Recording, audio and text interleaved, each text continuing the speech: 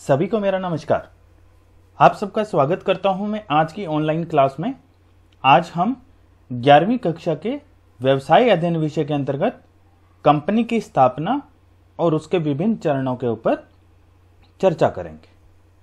मैं कुलदीप बीरवाल, आप सबका आज की ऑनलाइन क्लास में स्वागत करता हूँ।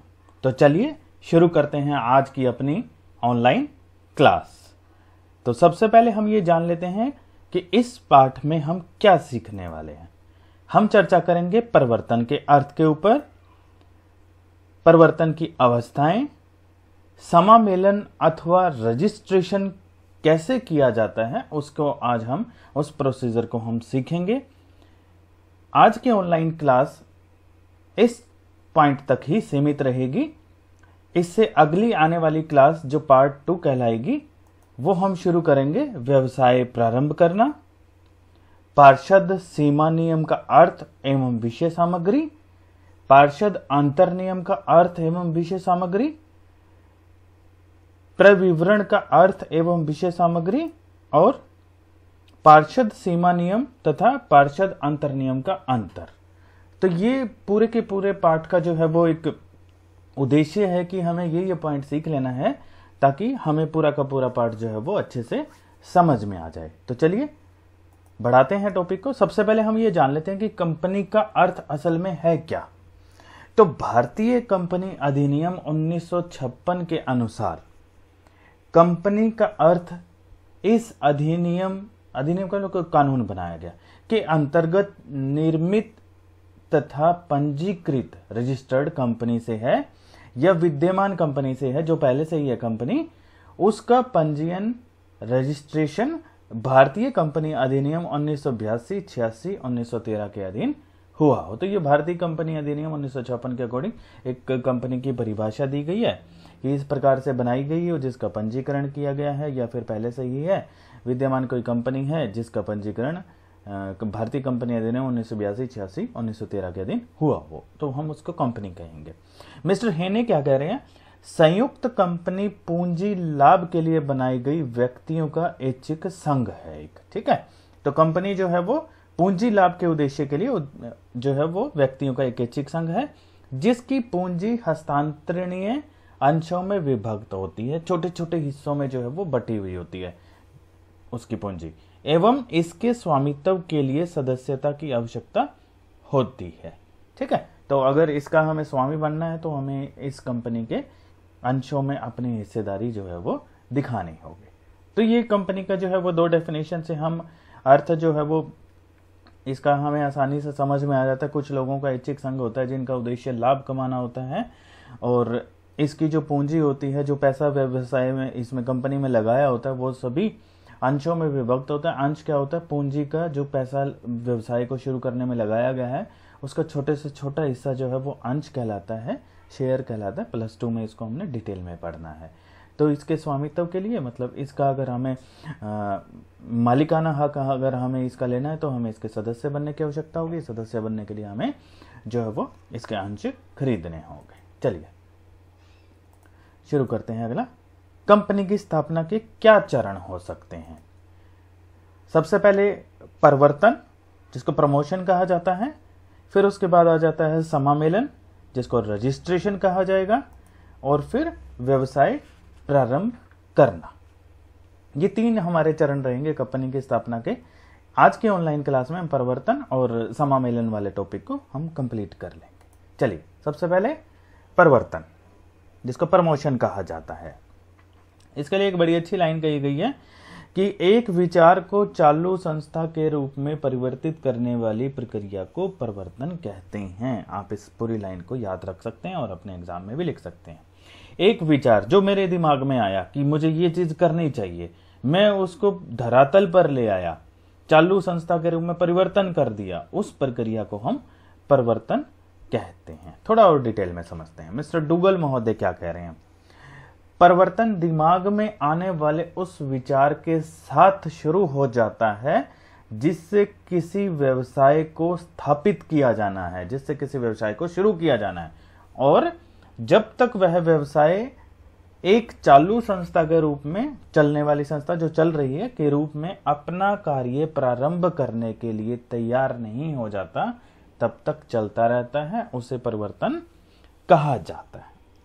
डिटेल में और थोड़ा सा जाते हैं। आज जबकि प्रतियोगिता अपने चरण सीमा पर है, किसी व्यवसाय की स्थापना करना उतना आसान कार्य नहीं है। जो व्यक्ति अथवा व्यक्तियों के समूह व्यवसाय स्थापित करना चाहता है, उसे गहन सोच विचार करके निर्णय लेने की आवश्यकता होती है। गहन अध्ययन करने के बाद में स्थापित किए जाने वाले व्यवसाय की ही सफलता की उम्मीद की जा सकती है। अब यहाँ प्रश्न यह है कि गहन अध्ययन किसके बारे में होना चाहिए? गहन अध्ययन मुख्यतः व्यापार के प्रकार, आकार, स्थान, स्वामित्व, पूंजी इत्यादि के बारे में किया जाना चाहिए। एक व्यवसायिक इकाई की स्थापना के लिए किए जाने वाले प्रवर्तन, प्रयत्न जो किए जाते हैं, सामूहिक रूप से जो किए जाते हैं, हम उनको परिवर्तन कहते हैं। प्रमोशन। जो व्यक्ति यह काम करता है, उसे प्रवर्तक कहते हैं, प्रमोटर। प्रवर्तक एक व्यवसाय की स्थापना की संभावना को जन्म देता है। मतलब शुरुआत में वही सोचता है सारी चीज़ें और उसे स्थापित करता है। आज बढ़ती हुई प्रतियोगिता तथा अधिकाधिक सरकारी हस्तक्षेप के कारण नवीन व्यवसाय की स्थापना करने का काम काफ़ी मुश्किल हो गया है। इसके लिए विशेषज्ञों की सेवा ली जाने लगी है। कुछ व्यक्ति अथवा संस्थाएँ परिवर्तन के काम में शामिल हैं। ये नए नए विचार खोजते हैं और उन्हें सार्थक बनाने की विधियाँ भी तैयार करते हैं। ऐसा करके वे व्यवसाय का परिवर्तन करके उसे इच्छुक व्यक्तियों को बेच देते हैं। मतलब जो व्यवसाय करना चाहते हैं, लेकिन वैचारिक रूप से वो उतना सारा सभी कार्य नहीं करना चाहते हैं तो कुछ कंपनियाँ, संस्थाएँ, कुछ व्यक्ति जो है वो ये कार्य कर रहे हैं। तो परिवर्तन का क्या अर्थ हो गया? परिवर्तन का अभिप्राय उन सभी क्रियाओं से है जो एक व्यवसायिक इकाई को अस्तित्व प्रदान करती हैं। सबसे पहले किसी व्यक्ति अथवा व्यक्तियों के समूह के मस्तिष्क में किसी व्यवसाय की स्थापना का विचार उत्पन्न होता है। इसके बाद इस विचार को वास्तविकता में बदलने के लिए कुछ प्रारंभिक कार्यों को पूरा करना पड़ता है। क्या हो सकते हैं? अगर उदाहरण के लिए हम बात करें, जैसे तैयार माल का क्रय विक्रय, कच्चे माल को तैयार माल में परिवर्तन करना जिसको निर्माणी व्यवसाय कहते हैं सेवाएँ प्रदान करने वाला व्यवसाय, जैसे कि ट्रांसपोर्ट कंपनियाँ, इस प्रकार का। तो कुछ ना कुछ ऐसा दिमाग में आता है, फिर हम उसको शुरू करते हैं। तो परिवर्तन का क्या मतलब हो गया? उन सभी क्रियाओं के योग से जो एक कंपनी को अस्तित्व प्रदान करने के लिए ज़रूरी होता है। ठीक है, हर वो कार्य किया गया, जिससे कंपनी अस्तित्व में आ जाएगी, वो परिवर्तन कहलाएगा। और परिवर्तक कौन हो गए? वे व्यक्ति या व्यक्तियों का समूह जो एक व्यावसायिक इकाई को अस्तित्व में लाने के लिए विभिन्न प्रकार के कार्य करता है, हम उसको प्रवर्तक कहेंगे। चलिए, अब परिवर्तन की अवस्थाओं के बारे में हम चर्चा कर लेते हैं कि परिवर्तन की अवस्थाएँ जो हैं वो स्टेजेस ऑफ़ प्रमोशन कितने प्रकार की हैं? सबसे पहले नए विचार की खोज। व्यवसाय का विचार मस्तिष्क में आने से लेकर व्यवसाय को चालू हालत में लाने तक की जाने वाली सभी क्रियाएँ जो है वो परिवर्तन के अंतर्गत आती हैं। तो हम इनको चार हिस्सों में बांट देते हैं। सबसे पहले है, हमारा आता है नए विचार की खोज discovery of a new idea व्यवसाय के परिवर्तन का काम नए विचार की खोज से प्रारंभ होता है। हमने इसके अर्थ में भी यही पढ़ा है। एक नया व्यवसाय प्रारंभ करने का विचार। बाज़ार में किसी विशेष वस्तु की लगातार पूर्ति में कमी को देखकर उत्पन्न हो सकता है। भाई, मार्केट में देखा हमने कि सैनिटाइजर की बहुत अधिक डिमांड है और उसकी पूर्ति उतनी नहीं है। लोगों को वो उतनी मात्रा में अवेलेबल नहीं हो रहा। या सभी लोगों को अवेलेबल नहीं हो रहा तो एक विचार उत्पन्न हुआ कि क्यों ना सैनिटाइजर बनाने के लिए एक व्यवसाय शुरू किया जाए। मैं एक उदाहरण के लिए आपको समझा रहा हूँ। या किसी ऐसे उत्पाद से संबंधित हो सकता है जो पहले से ही बाज़ार में है ही नहीं। वो भी एक विचार उत्पन्न हो सकता है। भाई ज़रूरत के हिसाब से ये वाली चीज़ भी जो है वो आ, मार्केट में लोगों के लिए अवेलेबल होनी चाहिए तो वो भी एक विचार आ सकता है किसी के भी मन में। नए विचार की खोज में पेशेवर आविष्कारकर्ता जो प्रोफेशनल इन्वेंटर्स हैं व्यापारिक संघ जो ट्रेड एसोसिएशन हैं सहकार सरकारी संस्थान गवर्नमेंट ब्यूरोज जो हैं या पत्रिकाएँ आदि की भी सहायता ली जा सकती है।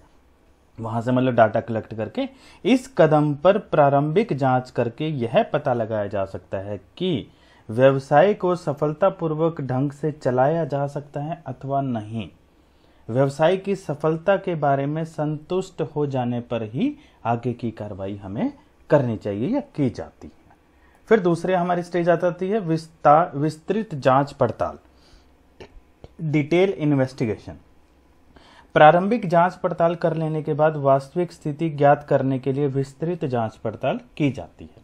इसके अंतर्गत संबंधित उत्पाद की बाज़ार की मांग, कच्चे माल की उपलब्धता, कच्चे माल की लागत, मशीनरी की आवश्यकता, प्रतियोगिता की संभावना उत्पाद की बिक्री का क्षेत्र, संभावित विक्रय मूल्य, संभावित लाभ संबंधी ये सारी की सारी जानकारियाँ। फिर साथ ही साथ पूंजी प्राप्ति की संभावनाएँ, पूंजी की कितनी आवश्यकता पड़ेगी, श्रमिकों की उपलब्धता है या नहीं है, व्यवसाय का कितना बड़ा आकार रहेगा, व्यवसाय कौन से स्थान पर स्थापित किया जाएगा, ये सारी की सारी बातें शामिल की जाती हैं।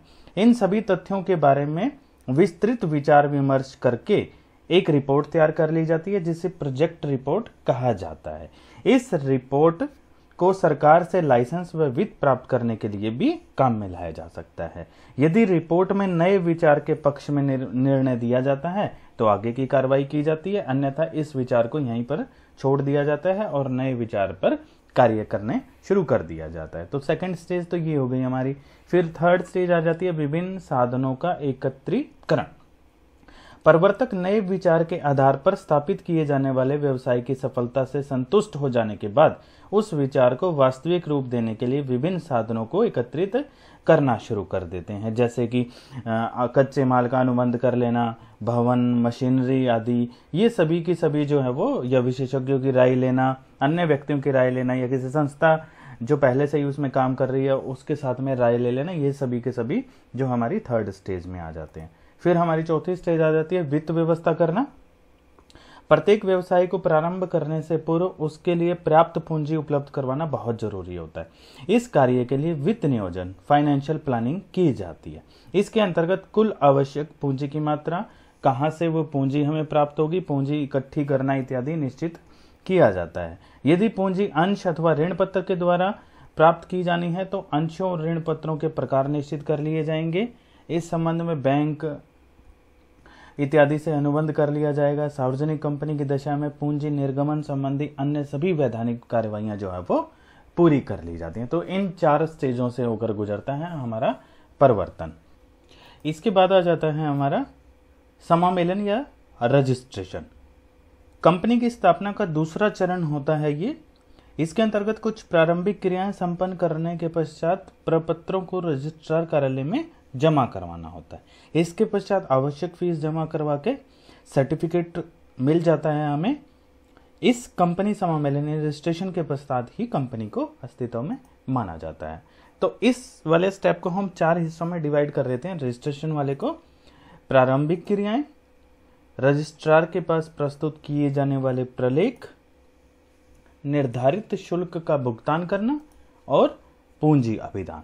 तो ये चार हिस्सों में रजिस्ट्रेशन वाले जो है वो हिस्से को हम बांट रहे हैं और अब इन्हीं चारों हिस्सों को हम थोड़ा डिटेल में समझने का प्रयास करते हैं। सबसे पहले आ जाता है हमारा प्रारंभिक क्रियाएँ। तो प्रारंभिक क्रियाओं में सबसे पहले पंजीकृत कार्यालय। सबसे पहले यह निश्चित किया जाना चाहिए कि प्रस्तावित कंपनी प्रस्तावित कंपनी जो कंपनी हमने बनानी है, का मुख्यालय किस राज्य में होगा। यह निर्णय कंपनी के प्रवर्तकों द्वारा लिया जाता है। प्रवर्तक कौन होते हैं? जो कंपनी को स्थापित करते हैं। ऐसा करना इसलिए आवश्यक है कि कंपनी का पंजीकरण उस राज्य के रजिस्ट्रार के यहाँ होता है, जिस राज्य में कंपनी का पंजीकृत कार्यालय स्थित होता है। फिर कंपनी का नाम निश्चित करना, कंपनी के नाम का चुनाव करना इसलिए आवश्यक है कि नाम निर्धारित करने से पूर्व रजिस्ट्रार के कार्यालय में इस बात की जानकारी प्राप्त कर ली जाए कि क्या प्रस्तावित नाम की स्वीकृति मिल सकती है या नहीं। क्योंकि नाम जो है वो भारतीय कंपनी अधिनियम की धारा 20 के अनुरूप होना चाहिए। अर्थात कंपनी का नाम पहले से ही स्थापित किसी दूसरी कंपनी के नाम से मिलता जुलता ना हो और ना ही केंद्रीय सरकार की दृष्टि से अनुचित नज़र आए। एक बात ज़रूर ध्यान रखनी है कि कंपनी के नाम के अंत में लिमिटेड शब्द का प्रयोग ज़रूर किया जाना चाहिए। फिर आई डी आर ए उन्नीस सौ इक्यावन के अंतर्गत लाइसेंस प्राप्त करना। देश के संतुलित विकास को ध्यान में रखते हुए सरकार ने उक्त अधिनियम पास किया तथा उन्नीस सौ तिरपन के में इस अधिनियम में कुछ संशोधन यानी कुछ चेंजेस करें, कुछ सुधार किया। यदि कंपनी किसी ऐसे व्यवसाय को स्थापित करने जा रही है जिसे इस अधिनियम के अंतर्गत लाइसेंस प्राप्त करना अनिवार्य है तो सबसे पहले केंद्र सरकार के व्यापार एवं उद्योग मंत्रालय नई दिल्ली के सचिव के पास एप्लीकेशन भेजकर वो लाइसेंस प्राप्त करना चाहिए। फिर आवश्यक नियुक्तियाँ करना। अभी गोपक दलाल बैंकर्स कानूनी सलाहकार अन्वेक्षण यानी कि ऑडिटर्स वगैरह की नियुक्ति करना तथा पार्षद सीमा नियम पर हस्ताक्षर करने वाले व्यक्तियों के नाम तय करना। अब ये पार्षद सीमा नियम क्या होता है? अभी हम डिटेल में इसको पढ़ेंगे। तो ये कुछ नियुक्तियाँ ज़रूर कर लेनी चाहिए। फिर प्रमुख प्रलेख तैयार करना। कुछ इंपॉर्टेंट डॉक्यूमेंट्स होते हैं जो कंपनी पार्षद सीमा नियम तथा पार्षद अंतर नियम तैयार किए जाते हैं और उन्हें छपवा लिया जाता है। कंपनी पार्षद सीमा नियम और अंतर नियम अभी हम इसी ऑनलाइन क्लास में डिटेल में पढ़ेंगे। और छठा आ जाता है हमारा रजिस्ट्रार के पास प्रार्थना पत्र भेजना। उपरोक्त प्रारंभिक कार्य कर लेने के पश्चात कंपनी के प्रवर्तक उस राज्य के कंपनियों के रजिस्ट्रार के पास में, जहाँ कंपनी का रजिस्टर कार्यालय स्थापित करना है, कंपनी के रजिस्ट्रेशन के लिए प्रार्थना पत्र प्रस्तुत कर लेता तो ये कुछ प्रारंभिक क्रियाएँ हम करते हैं रजिस्ट्रेशन के टाइम पे। फिर हमारा दूसरा पॉइंट था, रजिस्ट्रार के पास प्रस्तुत किए जाने वाले प्रलेख कौन कौन से हैं? सबसे पहला आ जाता है हमारा पार्षद सीमा नियम मेमोरेंडम ऑफ़ एसोसिएशन काफ़ी इंपॉर्टेंट हमारा डॉक्यूमेंट है ये। इसके अंतर्गत जो है वो किसी भी कंपनी का समामेलन पार्षद सीमा नियम के बगैर हो ही नहीं सकता। यह अधिनियम के अंतर्गत कंपनी के उद्देश्यों को परिभाषित करता है कि कंपनी किस उद्देश्य के लिए बनाई जा रही है और अधिकारों की सीमा भी निश्चित करता है। सीमा नियम में आधारभूत बातें होती हैं और केवल उन्हीं के आधार पर कंपनी का रजिस्ट्रेशन की स्वीकृति दी जाती है। सार्वजनिक कंपनी की दशा में कम से कम सात और निजी कंपनी की दशा में कम से कम दो व्यक्तियों द्वारा इस पार्षद सीमा नियम पर सिग्नेचर किए जाते हैं। और प्रत्येक सिग्नेचर करने वाले को कम से कम एक कंपनी का शेयर ज़रूर लेना होता है। फिर दूसरा, पार्षद अंतर नियम, association sorry, article of association. इस प्रलेख में पार्षद सीमा नियम में दिए हुए उद्देश्यों की पूर्ति के लिए तथा कंपनी को सुचारू रूप से चलाने के लिए बनाए गए नियमों का उल्लेख किया जाता है। इस प्रलेख पर उन सभी लोगों के हस्ताक्षर होते हैं जिन्होंने पार्षद सीमा नियम पर हस्ताक्षर किए होते हैं। पार्षद सीमा नियम छपा हुआ होता है मतलब प्रिंट किया होता है और पैराग्राफ में विभक्त होता है। सार्वजनिक कंपनी के लिए अंतर नियम तैयार करना आवश्यक नहीं है। यदि वह चाहे तो इसके स्थान पर सारणी ए, जिसको टेबल ए बोलते हैं, स्वीकार कर सकती है। ऐसी दशा में पार्षद सीमा नियम को रजिस्ट्रार के पास भेजते समय बिना अंतर नियमों के रजिस्टर लिख देना ज़रूरी होता है। तो ये पहले वाला जो पॉइंट है, वो बहुत ज़रूरी है। लेकिन अगर सार्वजनिक कंपनी की हम बात करें तो अंतर नियमों को ज़रूरी नहीं है कि वो मेंटेन करके जो है, वो डॉक्यूमेंट तैयार करें। फिर तीसरा आ जाता है हमारा रजिस्टर्ड कार्यालय की सूचना। कंपनी के रजिस्टर्ड कार्यालय के स्थान तथा स्थिति की सूचना भी रजिस्टर्ड कार्यालय पर देनी पड़ती है कार्यालय में। यह सूचना रजिस्ट्रेशन के बाद तीस दिन के अंदर भी दी जा सकती है। तो विद इन थर्टी डेज़ आपको ये ज़रूर देना है। फिर संचालकों की सूची, लिस्ट ऑफ़ डायरेक्टर्स, उन व्यक्तियों की सूची रजिस्टर रजिस्ट्रार के पास भेजी जाती है जो कि व्यक्ति में, कंपनी में संचालन के रूप में कार्य करने के लिए सहमत हुए हैं। इस सूची में उन व्यक्तियों का नाम, पता, क्या वो कार्य करते हैं इत्यादि विवरण लिखा जाता है। निजी कंपनी की दशा में यह सूचना भेजने सूचना भेजने आवश्यक नहीं है। फिर, संचालकों की लिखित सहमति। संचालकों की सूची के साथ उन व्यक्तियों की लिखित सहमति भी निर्धारित फार्म पर भेजी जानी चाहिए, जो कंपनी के संचालन बनने के लिए सहमत हुए हैं। एक निजी कंपनी की दिशा में ऐसी लिखित सहमति भेजने की आवश्यकता नहीं है। फिर योग्यता अंशों के संबंध में वचन। संचालकों की लिखित सहमति के साथ साथ एक दूसरी सूचना भी निर्धारित फार्म पर भेजनी होती है, जिसमें संचालकों की ओर से योग्यता अंशों को लेने तथा उनके भुगतान करने का वचन होता है। अब योग्यता अंश क्या होते हैं? ये वे अंश होते हैं जो अधिनियम के प्रावधानों के अंतर्गत प्रस्तावित कंपनी में संचालकों की भागीदारी को सुनिश्चित करने के लिए उनके द्वारा खरीदे जाने ज़रूरी होते हैं। जो हमने पार्षद सीमा नियम पहले पॉइंट के अंदर जो पढ़ा था ना, कि हस्ताक्षरकर्ता को जो है एक एक अंश लेना ज़रूरी होता है, इसी प्रकार से संचालकों को भी योग्यता अंश लेने ज़रूरी होते हैं। फिर हमारा अगला पॉइंट आ जाता है, प्रबंधक व्यवस्थापकों के साथ प्रारंभिक अनुबंध, जो एग्रीमेंट उनके साथ में होगा। यदि कंपनी के प्रबंधक व्यवस्था संचालक, प्रबंध संचालक मैनेजर सचिव, कोषाध्यक्ष द्वारा की जाती है तो इन सभी व्यक्तियों के साथ में प्रारंभिक अनुबंध की एक प्रति कॉपी, जो कंपनी रजिस्ट्रार के कार्यालय में फ़ाइल करनी होती है, निजी कंपनी की दिशा में ज़रूरी नहीं है। और आखिरी पॉइंट आ जाता है इसमें, वैधानिक घोषणा। कंपनी के समामेलन के समय एक वैधानिक घोषणा रजिस्ट्रार के पास में भेजनी होती है कि रजिस्ट्री के लिए सभी वैधानिक आवश्यकताओं की पूर्ति की जा चुकी है मतलब सभी डॉक्यूमेंट हमने पूरे कर दिए हैं। तो ये दूसरा स्टेप हो गया कंपनी के रजिस्ट्रेशन के लिए। फिर हमारा तीसरा आ जाता है स्टेप इसमें, निर्धारित शुल्क का भुगतान करना। तो जो पिछले स्लाइड के अंदर जो सभी के सभी प्रपत्र दिए हुए थे, वो निर्धारित शुल्क भी कंपनी को रजिस्ट्रार के पास जमा कराना होता है उनके साथ में।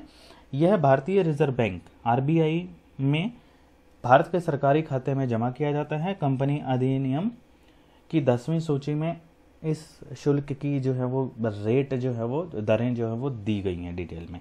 उपरोक्त कार्रवाई पूरी हो जाने के पास रजिस्ट्रार कार्यालय के समामेलन संबंधी प्रलेखों का निरीक्षण व जाँच करता है वो। जब वह संतुष्ट हो जाता है कि सभी आवश्यक वैधानिक कार्रवाइयाँ पूरी कर ली गई हैं सभी डॉक्यूमेंट ठीक हैं सभी डॉक्यूमेंट दे दिए गए हैं तो कंपनी अधिनियम 2013 की धारा 9 के अंतर्गत समामेलन का प्रमाण पत्र जिसको कि सी कहते हैं वो जो है वो आ, उस कंपनी को दे दिया जाता है। ठीक है? तो भारतीय कंपनी अधिनियम की दसवीं सूची में शुल्कों की दर दी गई है और समामेलन का प्रमाण पत्र दे दिया जाता है, जिसको सीआईएन बोलते हैं, और कॉरपोरेट पहचान पत्र सीआईएन जो है वो दे दिया जाता है। अब इसका इफ़ेक्ट क्या पड़ता है? कंपनी एक रजिस्टर्ड संस्था बन जाती है। रजिस्ट्रेशन के प्रमाण पत्र को न्यायालय में कंपनी के अस्तित्व के रूप में प्रस्तुत किया जा सकता है। कंपनी एक कानूनी कृत्रिम व्यक्ति बन जाती है और उसका अस्तित्व सदस्यों से अलग माना जाने लगता है, जिसकी एक अलग स्टैंप होती है। ये हम सभी जानते हैं कि व्यापार और व्यापार चलाने वाला दोनों अलग अलग होते हैं। तो रजिस्ट्रेशन करने के बाद में ये हमारा कंसेप्ट जो है वो लागू हो जाता है। कंपनी का एक अस्तित्व स्थायी हो जाता है और इसके प्राप्त करते ही कंपनी जो है वो अपना व्यापार शुरू कर सकती है। फिर हमारा जो चौथा जो था रजिस्ट्रेशन के अंदर जो स्टेप था हमारा चौथा, पूंजी अभिधान कैपिटल सब्सक्रिप्शन तो अब इसके बारे में डिटेल में हम जान लेते हैं। एक निजी कंपनी या फिर एक सार्वजनिक कंपनी जिसमें अंश पूंजी नहीं हो, समामेलन के तुरंत पश्चात, यानी कि रजिस्ट्रेशन के तुरंत पश्चात अपना व्यापार आरंभ कर सकती है। अतः पूंजी अभिधान अवस्था, जो हम अभी पॉइंट पढ़ रहे हैं और व्यापार आरंभ करने की अवस्था। अंश पूंजी वाली सार्वजनिक कंपनी पर ही लागू होती है। तो जिस जिसने अपना पैसा अंश पूंजी के द्वारा इकट्ठा करना है, उनके ऊपर ये पॉइंट जो है वो लागू होता है। पूंजी अभिधान अवस्था के अंतर्गत प्रवर्तकों को आवश्यक पूंजी एकत्रित करने के लिए क्या करना पड़ता है? कंपनी जनता को प्रविवरण जारी करती है और उसकी एक प्रति, यानी उसकी कॉपी रजिस्ट्रार को भेजती है। अंशों के लिए आवेदन पत्र कंपनी का बैंकर प्राप्त करता है।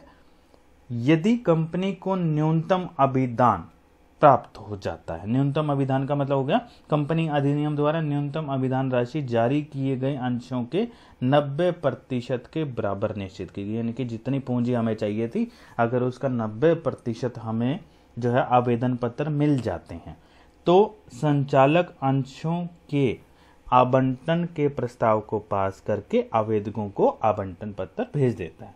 और रजिस्ट्रार को आवंटन रिटर्न रिटर्न ऑफ़ अलॉटमेंट भेज दिया जाता है। यदि कंपनी प्रविवरण जारी करने की तिथि के 120 दिन के अंदर न्यूनतम अभिधान राशि प्राप्त करने में असमर्थ होती है तो कंपनी अंशों का आवंटन नहीं कर सकती। मतलब जिन्होंने एप्लीकेशन दी है कि हाँ मैं इस कंपनी के अंश खरीदना चाहता हूँ, अगर वो मिनिमम 90 परसेंट जो है वो एप्लीकेशन नहीं आती, जितना अमाउंट हमें चाहिए होता है तो फिर हम अंश जारी नहीं कर सकते और जिन्होंने जिन्होंने एप्लीकेशन हमें भेजी आवेदक जिनको बोलते हैं, उनको हम उनका पैसा वापस कर देते न्यूनतम अभिधान राशि से क्या अभिप्राय है? अंशों की बिक्री से प्राप्त होने वाली उस न्यूनतम राशि से है, जिसका उल्लेख प्रविवरण में किया जाता है। जब सार्वजनिक कंपनी जनता को अंश खरीदने के लिए आमंत्रित करती है तो वह अपने अंशों का आवंटन तब तक नहीं कर सकती जब तक उसे न्यूनतम अभिदान प्राप्त ना हो जाए, ये नियम है। कंपनी द्वारा खरीदी गई या खरीदी जाने वाली संपत्ति का भुगतान करने के लिए ये राशियाँ जुटाई जाती हैं। प्रारंभिक खर्चे जो होते हैं या फिर अभिगोपन कमीशन इत्यादि के भुगतान करने के लिए हम पूंजी जुटाते हैं। उपरोक्त दोनों उद्देश्यों हेतु कंपनी द्वारा उधार ली गई राशि की वापसी की अदायगी के लिए हम करते हैं। कार्यशील पूंजी के लिए हम इकट्ठा करते हैं मतलब जो कार्य हमने शुरू करना है, जिसके लिए हमने कंपनी शुरू की है, न्यूनतम राशि का धन केवल नकद माना जाएगा। इसमें वह धन शामिल नहीं किया जाएगा, जो नकद के रूप में अन्य रूप से दिया जा रहा हो। जैसे कि बिल्डिंग जो है वो गिफ्ट में जो है वो किसी प्रवर्तक या किसी संचालक ने जो है वो कंपनी को दे दी, हम उसको नहीं मानते हैं। यदि कोई अंश पूंजी वाली कंपनी प्रविवरण का निर्गमन नहीं करती है तो उसे अंशों या ऋण पत्रों के प्रथम आवंटन के कम से कम तीन दिन पहले स्थानापन विवरण रजिस्ट्रार के पास में रजिस्ट्री के लिए भेजना आवश्यक होता है। इसके अंतर्गत, इसके उपरांत उसे आवंटन, यानी कि सामान्य प्रक्रिया जैसे आवंटन पत्र भेजना अंश प्रमाण पत्र निर्गम करना इत्यादि, ये सारी की सारी चीज़ें पूरी करनी होती है। तो आज की ऑनलाइन क्लास में इतना ही। अगली ऑनलाइन क्लास जो इसी का सेकंड पार्ट रहेगा, उसमें हम व्यवसाय कैसे प्रारंभ करते हैं, उसके बारे में हम ज़िक्र करेंगे। आप सबके लिए आज की ऑनलाइन क्लास का गृह कार्य।